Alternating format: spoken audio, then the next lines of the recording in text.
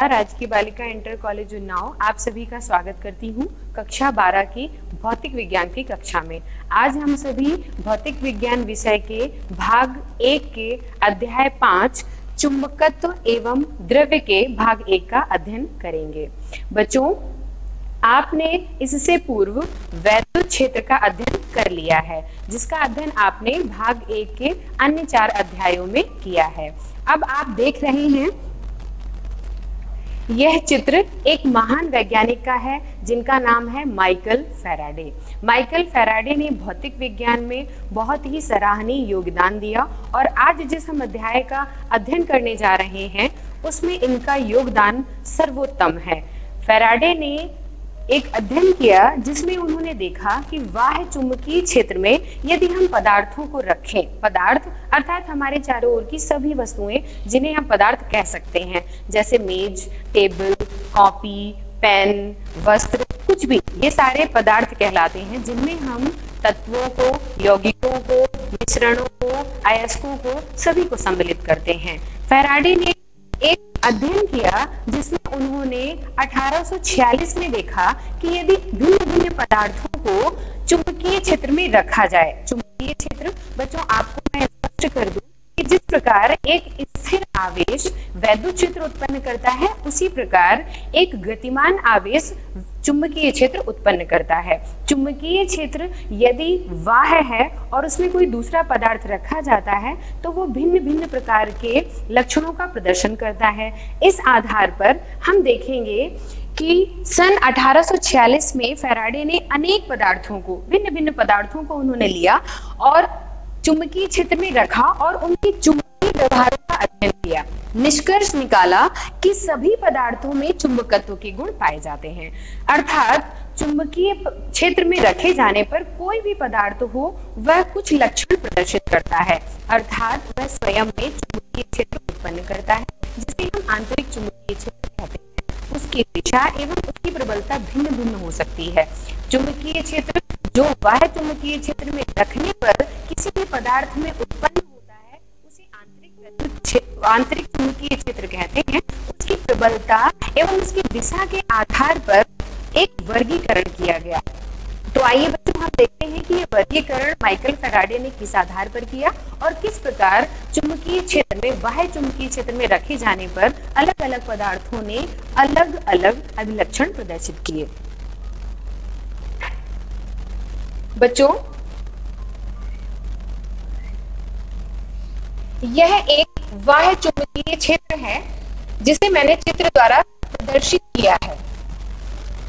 आप इस बात पर ध्यान दें कि चुंबकीय क्षेत्र एक सदिश राशि है, अर्थात उसकी दिशा होती है। मान लेते हैं कि हमने कोई भी पदार्थ जिसका एक चतुर्भुजाकार है, उसे हमने किसी वाह चुंबकीय क्षेत्र में रखा है। मान लेते हैं, यह चुंबकीय क्षेत्र बी है, जिसमें हमने एक पदार्थ को रखा है। इस पदार्थ का अभी बच्चों हमने कोई भी नाम आपको नहीं बताया है। ये कोई भी पदार्थ हो सकता है। उदाहरण के लिए, यह सोडियम हो सकता है।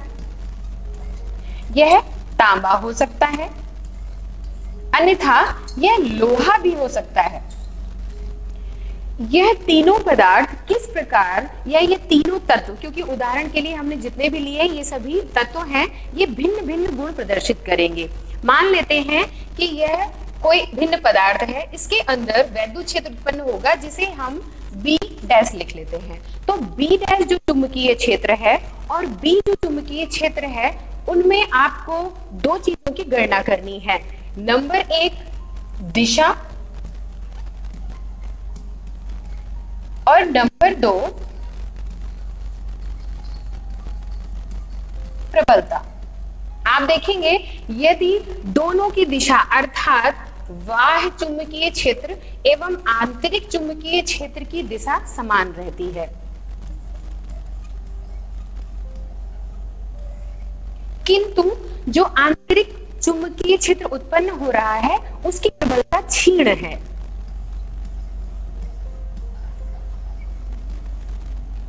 पुनः यदि जो चुंबकीय क्षेत्र उत्पन्न हो रहा है, वह वह चुंबकीय क्षेत्र की दिशा में ही उत्पन्न हो रहा है, अर्थात समान दिशा में उत्पन्न हो रहा है, किंतु कैसा है? प्रबल। ये दोनों भिन्न वर्ग हैं, अर्थात कुछ पदार्थ प्रथम वर्ग में रखे जाएँगे और कुछ द्वितीय वर्ग में रखे जाएँगे। तीसरा वर्ग और होगा, जिसमें आंतरिक क्षेत्र जो पदार्थ आंतरिक चुंबकीय क्षेत्र जो पदार्थ में उत्पन्न हुआ है और बाह्य चुंबकीय क्षेत्र की दिशा विपरीत होगी।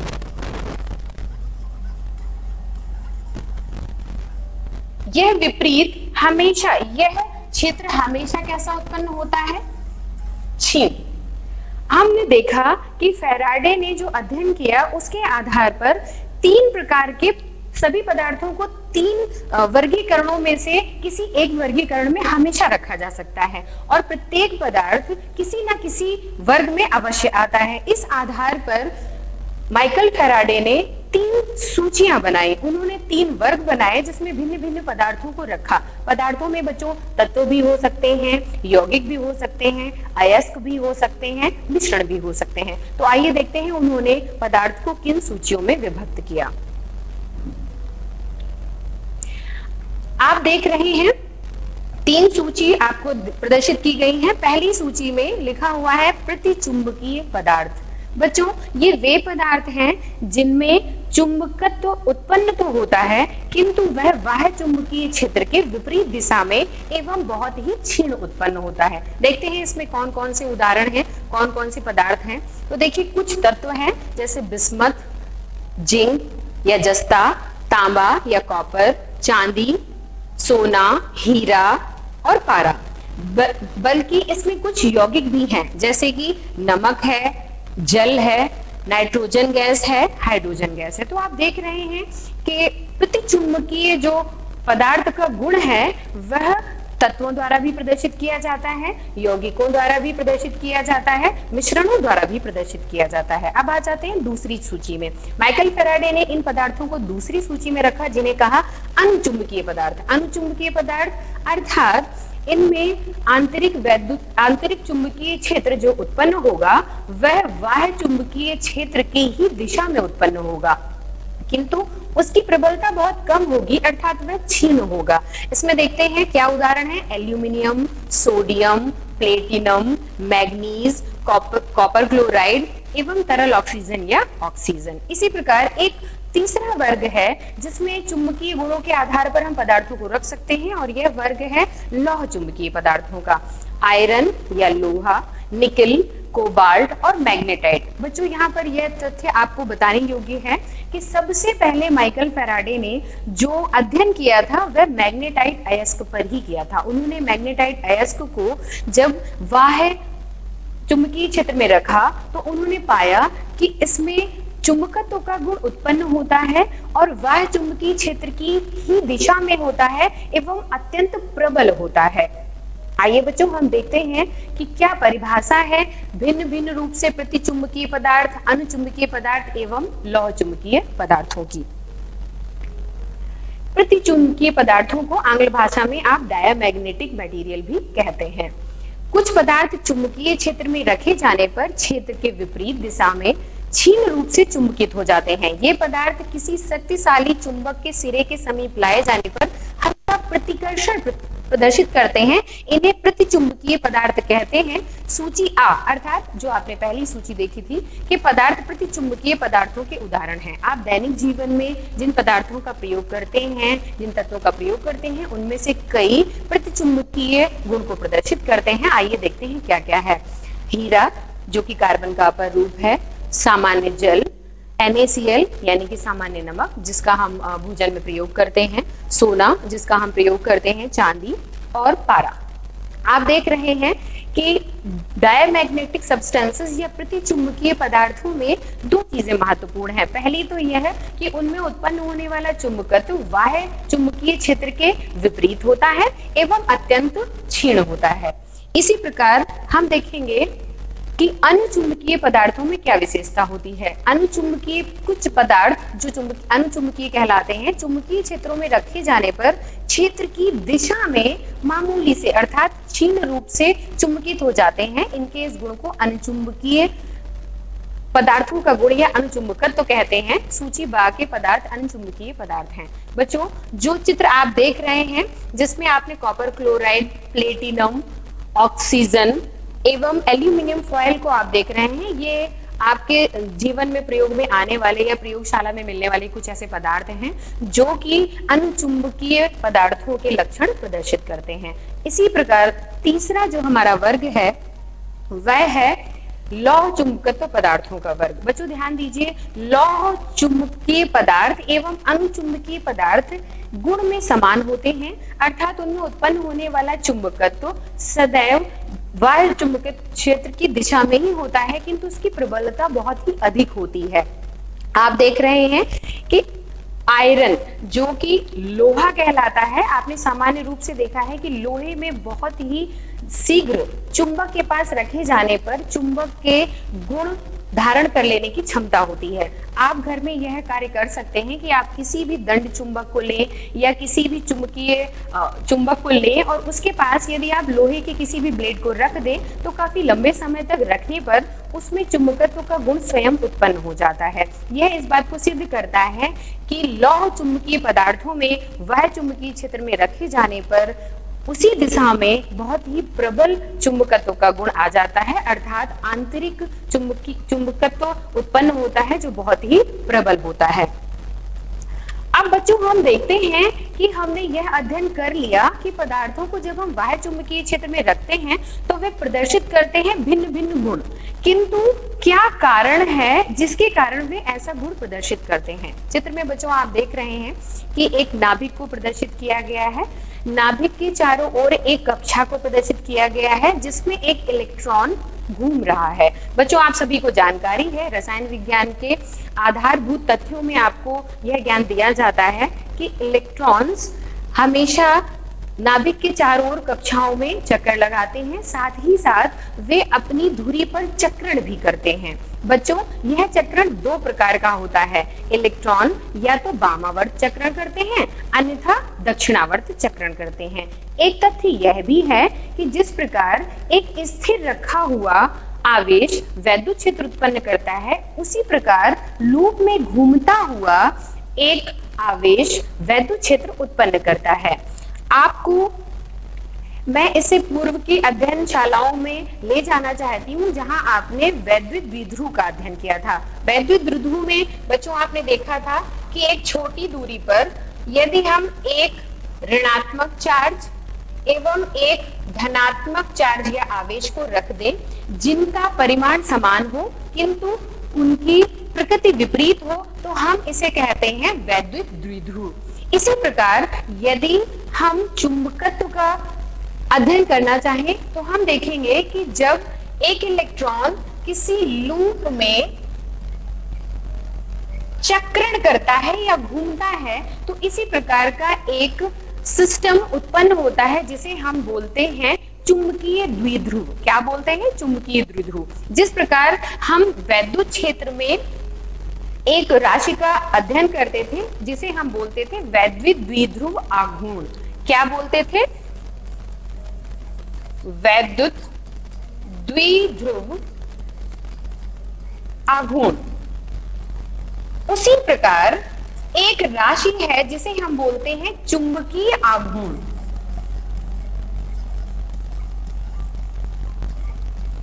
चुंबकीय आघूर्ण प्रदर्शित करता है कि यह जो छोटा सा चुंबकीय द्विध्रुव बना हुआ है, उसकी प्रबलता कितनी है?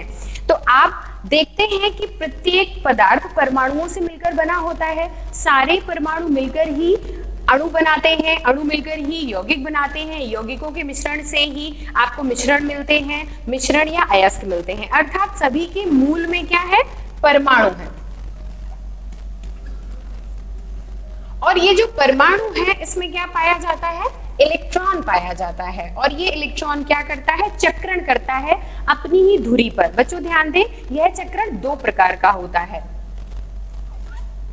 दो प्रकार का चक्रण होता है। एक है बामावर्त चक्रण और दूसरा है दक्षिणावर्त चक्रण।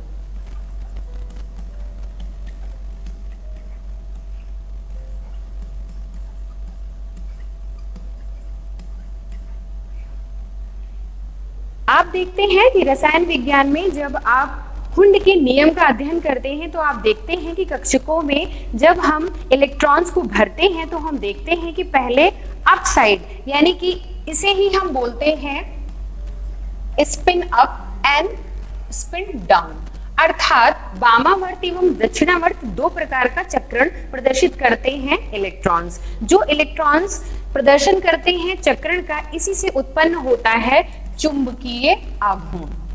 चुंबकीय आघूर्ण जब हम लेते हैं किसी ऐसे पदार्थ का जो किसी भी चुंबकीय क्षेत्र में नहीं रखा गया है, तब तीन प्रकार की स्थितियाँ बनती हैं। पहली तो वे पदार्थ होते हैं जिन पदार्थों में सारे के सारे इलेक्ट्रॉन्स युग्मित होते हैं, अर्थात उनमें मुक्त इलेक्ट्रॉन नहीं पाए जाते हैं। दूसरे वे पदार्थ होते हैं जिनमें कुछ संख्या में अयुग्मित इलेक्ट्रॉन पाए जाते हैं और तीसरे वे पदार्थ होते हैं जिनमें अयुग्मित इलेक्ट्रॉनों की संख्या नहीं होती, किंतु विशेष परिस्थितियों में अयुग्मित इलेक्ट्रॉन्स उत्पन्न होते हैं। अब बच्चों देखिए कि किस प्रकार ये छोटा सा इलेक्ट्रॉन जब चक्रण करता है तो एक चुंबकीय आघूर्ण उत्पन्न करता है। यदि दो इलेक्ट्रॉन एक साथ हैं तो उनके चुंबकीय आघूर्णों की दिशा सदैव विपरीत रहती है और वे एक दूसरे को निरस्त कर देते हैं। किंतु कुछ परिस्थितियों में जहाँ वे अकेले होते हैं, वहाँ पर चुंबकीय आघूर्ण निरस्त नहीं हो सकता। यदि चुंबकीय आघूर्ण निरस्त नहीं हो पा रहा है, अर्थात पदार्थ के पास अपना एक चुंबकीय आघूर्ण होता है। इसी प्रकार, तीसरे प्रकार के वे पदार्थ हैं जब वे विशेष परिस्थिति में रखे जाते हैं तो उनमें चुंबकीय आघूर्ण प्रदर्शित होता है। इसी प्रकार हम देखेंगे कि वास्तव में प्रत्येक पदार्थ में प्रतिचुंबकत्व का गुण होता है। जो पदार्थ अनुचुंबकीय अथवा लौह चुंबकीय है, उनमें प्रतिचुंबकत्व का गुण उनके अपेक्षाकृत अधिक शक्तिशाली अनुचुंबकत्व अथवा लौह चुंबकत्व गुण द्वारा निरस्त कर दिया जाता है। बच्चों, यहाँ समझिए, किसी भी पदार्थ में युग्मित इलेक्ट्रॉन अवश्य होते हैं। यह संभावना बनी रहती है कि उनमें युग्मित के साथ साथ अयुग्मित भी इलेक्ट्रॉन हो। यही कारण है कि प्रतिचुंबकत्व, जो कि युग्मित इलेक्ट्रॉनों के कारण उत्पन्न होता है, वह सभी में पाया जाता है। किंतु अनुचुंबकीय अथवा लौह चुंबकीय पदार्थ वे होते हैं, जिनका लौह चुंबकीय अथवा अनुचुंबकीय व्यवहार इतना प्रबल होता है कि उनका प्रतिचुंबकीय व्यवहार छिप जाता है। इसीलिए हम कहते हैं कि सारे के सारे पदार्थ चुंबकत्व का प्रदर्शन करते हैं। बच्चों, आपकी इस कक्षा में आपकी इस कक्षा में आपने अध्ययन किया है लौह चुंबकीय पदार्थों का अनुचुंबकीय पदार्थों का एवं प्रतिचुंबकीय पदार्थों का।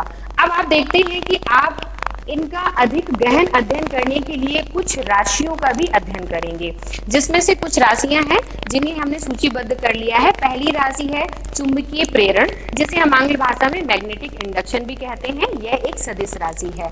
दूसरी राशि है चुंबकन तीव्रता इंटेंसिटी ऑफ़ मैग्नेटाइजेशन यह भी एक सदिश राशि है, जिसे हम आई सदिश से प्रदर्शित करते हैं। तीसरी राशि है चुंबकीय तीव्रता एच सदिश जिसे हम मैग्नेटिक इंटेंसिटी भी कहते हैं। बच्चों, ध्यान दें, यहाँ पर चुंबकन तीव्रता एवं चुंबकीय तीव्रता दो भिन्न भिन्न भौतिक राशियाँ हैं, जिन्हें आप इस प्रकार से स्मरण रख सकते हैं कि चुंबकन तीव्रता का सिंबल आई वेक्टर या आई सदिश होता है, जबकि चुंबकीय तीव्रता को हम एच सदिश से प्रदर्शित करते हैं।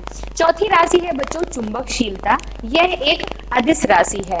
इसे हम आंग्ल भाषा में मैग्नेटिक परमिएबिलिटी कहते हैं। फिर आते हैं सापेक्षिक चुंबकशीलता पर, जिसे हम आंग्ल भाषा में रिलेटिव मैग्नेटिक परमिएबिलिटी कहते हैं। अंतिम, किंतु महत्वपूर्ण राशि है चुंबकीय सुग्राहिता अथवा प्रवृत्ति, जिसे हम मैग्नेटिक ससेप्टिबिलिटी भी कहते हैं। बच्चों, हम इन राशियों का क्रमवार अध्ययन करेंगे तो आइए सबसे पहले हम समझते हैं कि क्या है चुंबकीय प्रेरण। चित्र में आपको पुनः एक वाह चुंबकीय क्षेत्र में रखा गया एक चौकोर टुकड़ा दिखाई दे रहा है। बच्चों, ये एक वाह पदार्थ है। अभी हम इसकी गणना नहीं करेंगे कि ये पदार्थ किस प्रकार का है, किस वर्ग में रखा जा रहा है। अर्थात ये लौ चुंबकीय है या अनुचुंबकीय है, यह प्रतिचुंबकीय है। आप देख रहे हैं कि जो समानांतर रेखाएँ हैं, जिनमें किरण आरेख बाएँ से दाएँ ओर बना है, वह वह क्षेत्र को वह चुंबकीय क्षेत्र को प्रदर्शित कर रहा है। जबकि चौकोर टुकड़े के भीतर का जो क्षेत्र है, वह आंतरिक यानी कि उत्पन्न हुए क्षेत्र को प्रदर्शित कर रहा है। आप देखेंगे कि चित्र, पहले चित्र में जो चित्र बाई ओर बना हुआ है, आप देख रहे हैं कि कुछ बिंदुवार पंक्तियाँ दिखाई गई हैं। ये पंक्तियाँ उन चुंबकीय बल रेखाओं को प्रदर्शित कर रही हैं, जो आंतरिक चुंबकीय क्षेत्र के कारण उत्पन्न हुई हैं।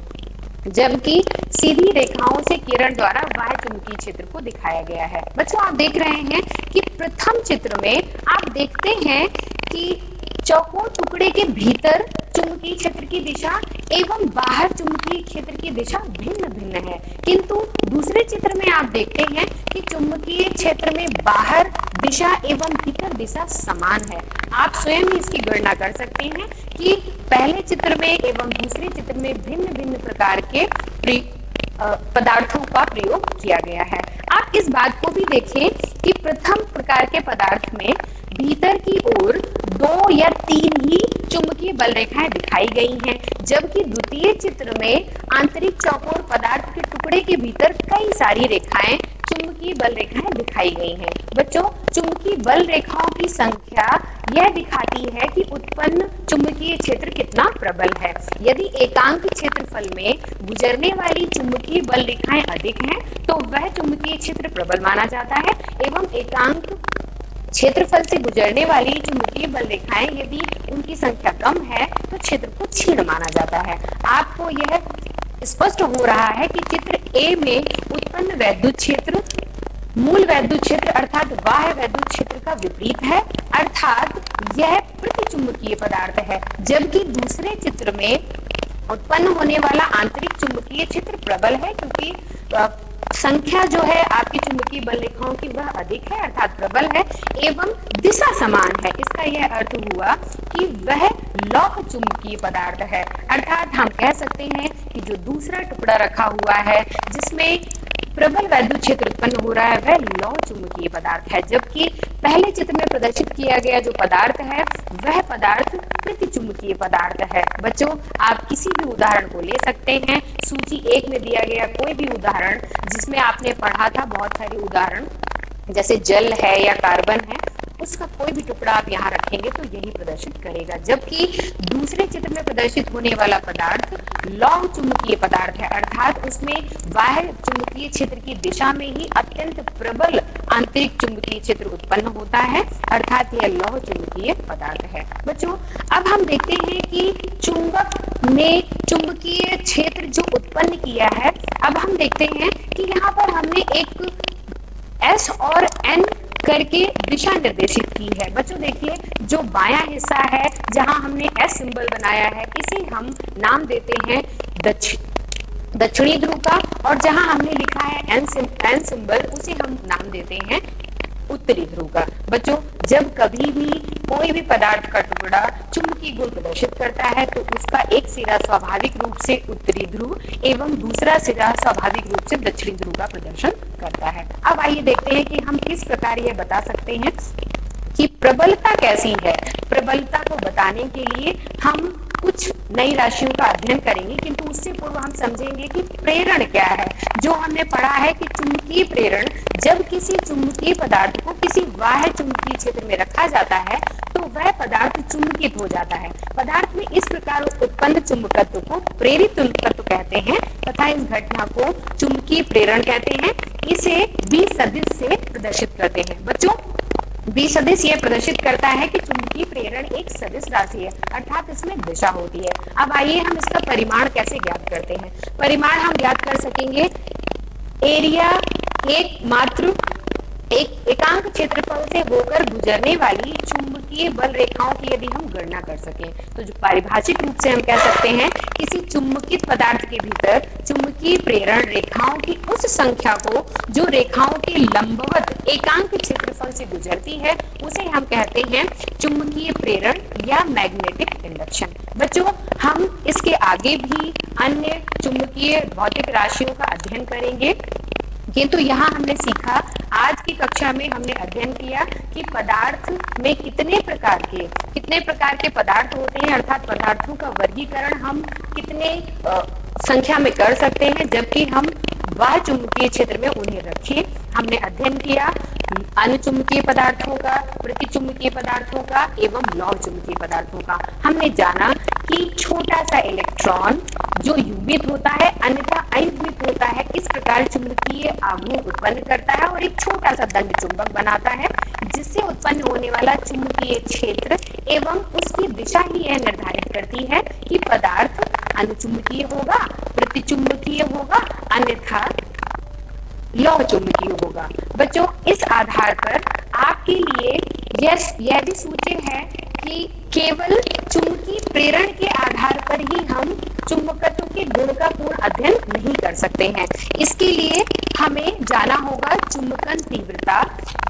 चुंबकीय तीव्रता, चुंबकशीलता, सापेक्षिक चुंबकशीलता एवं चुंबकीय सुग्राहिता अथवा चुंबकीय प्रवृत्ति पर बच्चों, सभी पदार्थ आपको मूल रूप में यह स्मरण रखना चाहिए कि सभी पदार्थ वे तत्व हो, वे यौगिक हो, वे पत्व वे किसी भी वर्ग में रखे जाते हो, रासायनिक रूप से वे अवश्य प्रदर्शित करते हैं चुंबकीय गुण, यदि वे बाह्य चुंबकीय क्षेत्र में रखे जाते हैं। अर्थात सभी के सभी जो चुंबकीय जो पदार्थ हैं, वे चुंबकत्व के गुण का प्रदर्शन करते हैं। वे या तो प्रतिचुंबकीय होते हैं या अनुचुंबकीय या लौ चुंबकीय अरे बच्चों तो आज आपने अध्ययन किया है कि किस प्रकार सभी पदार्थों को जो भी हमारे आसपास के वातावरण में मिलते हैं, हम उन्हें वर्गीकृत कर सकते हैं। प्रतिचुंबकीय, अनुचुंबकीय एवं लौम चुंबकीय पदार्थों के रूप में। तो आपके लिए एक छोटा सा ग्रह कार्य है जो बड़ा ही रुचिकर है। आप घर में मिलने वाली अपनी छोटी छोटी वस्तुओं के साथ यह कर सकते हैं। आप किसी भी एक छोटे दंड चुंबक को ले, जो आपको किसी भी स्पीकर में मिल सकता है। उसके पास आप ले जाए भिन्न भिन्न वस्तुएँ, जैसे लकड़ी का टुकड़ा, जैसे लोहे का ब्लेड, जैसे कागज़ और फिर उसे काफ़ी समय के लिए उसके साथ रहने दें, अर्थात उसके साथ संलग्न रहने दें। फिर आप इस बात का अध्ययन करें कि क्या ब्लेड में जिस प्रकार दूसरी वस्तुओं को आकर्षित करने का गुण उत्पन्न हुआ है, क्या वही गुण कागज़ के टुकड़े में उत्पन्न हुआ है, अन्यथा नहीं। क्या वही गुण लकड़ी के गत्ते में उत्पन्न हुआ है या नहीं? और हमें यह बात भी ध्यान रखनी है कि यह महत्वपूर्ण है कि कितने समय के लिए रखा गया है चुंबक के संपर्क में, अर्थात वह चुंबकीय क्षेत्र में। तो यह छोटा सा ग्रह कार्य है, प्यारे बच्चों, आप सभी के लिए। आप करेंगे इसे कि आप किसी भी प्रबल चुंबक को लें। अर्थात प्रबल चुंबक लेने पर जो प्रभाव होगा, वह पर्याप्त होगा। यहीं पर समाप्त होता है आपका यह अध्ययनशाला का संस्मरण। नमस्कार।